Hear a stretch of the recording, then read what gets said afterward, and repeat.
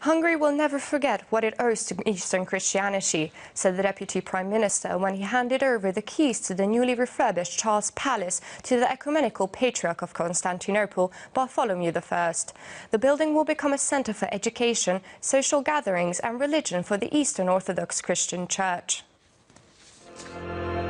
On the 2nd of August in 2000, Ecumenical Patriarch Bartholomew I of Constantinople announced in Budapest that St. Stephen was also included among the saints of the Church of the Eastern Christians. He is the first to be honored as saint by the Catholic and the Greek Orthodox churches since the arose of the Great West-East Schism. Bartholomew I came to Budapest again and received the key of the renovated Károly Palace from the Deputy Prime Minister. The building will be an educational, social and religious center of the Eastern Orthodox Christian Church. Zsolt Semjen said, Hungary will never forget how much the country owes to the Eastern Christians. A mi Szent István királyunk az, Our King St. Stephen represents the stitch to mend the seamless robe of Christ, which was torn by the scandal of schism 1,000 years ago.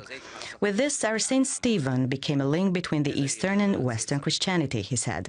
In an exclusive interview to public media, Bartholomew I said that it's important that Christian communities remain in the Middle East as well and appreciate Hungary's support in this regard. We would like if the problems of the persecuted Christians were resolved so they could return home and live together in peace with people of other religions.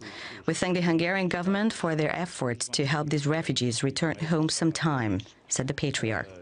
Currently, more than 1,500 Greek Orthodox people live in Hungary.